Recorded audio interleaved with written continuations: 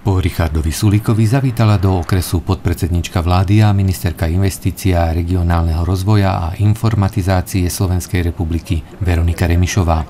Hlavnou témou bola opätovne voda. Nie je možné, aby v 21. storočí niektoré obce nemali prístup k pitnej vode.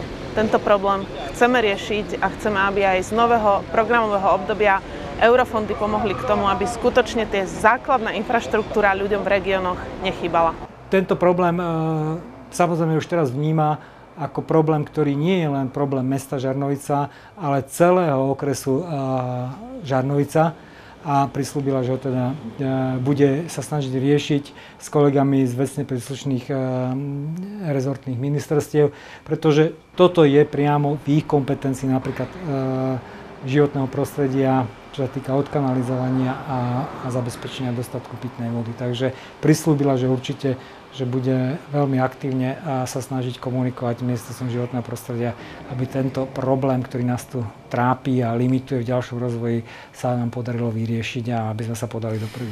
Podpredsednička a ministerka Remišová mala v piatok v okrese hneď niekoľko takýchto stretnutí so zástupcami samozpráv. Do obeda v Novej Bani, na obed v Žarnovici a po obede v Klakovskej doline. V mnohých stretnutí vzídu e, podnety a inšpirácie, ktoré sa následne snažíme zapracovať. Nie všetko je v mojej kompetencii, napríklad komasácia. Komasáciu budeme riešiť s pánom ministrom pôdohospodárstva. To isté prístup k vode.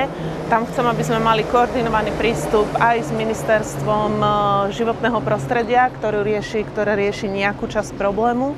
A samozrejme cestná infraštruktúra, každé Niečo môžeme vyriešiť z nášho operačného programu, integrovaný regionálny program z eurofondov, ale niečo budeme musieť riešiť aj v koordinácii napríklad železničné siete s pánom ministrom dopravy.